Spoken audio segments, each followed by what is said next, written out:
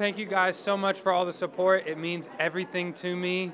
Like I've said many weeks and will continue to hopefully join the synergy.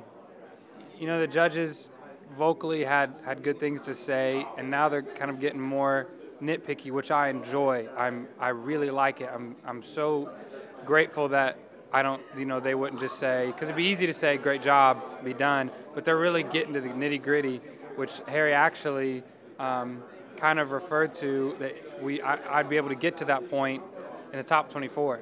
Um, and now we're getting to that, and I love it. I appreciate it. Um, J Lo's talking about my style. I, I think I think what she meant, what she meant, um, and what she means by that is almost not necessarily clothes, but the clothes and the attitude and kind of the swag, that, that confidence, that that intangible to kind of make it all work and bring it out. Um, I think that's what she was talking about. And Harry got me. He, he's totally right. He said, you know, what's great about that song is that pocket.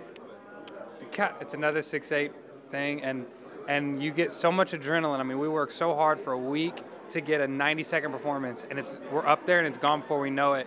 And so much adrenaline is pumping through at that moment that you tend to rush in those moments, and I totally did. He got me, but I'm glad he, he called me out on it, so I'm going to uh, focus on.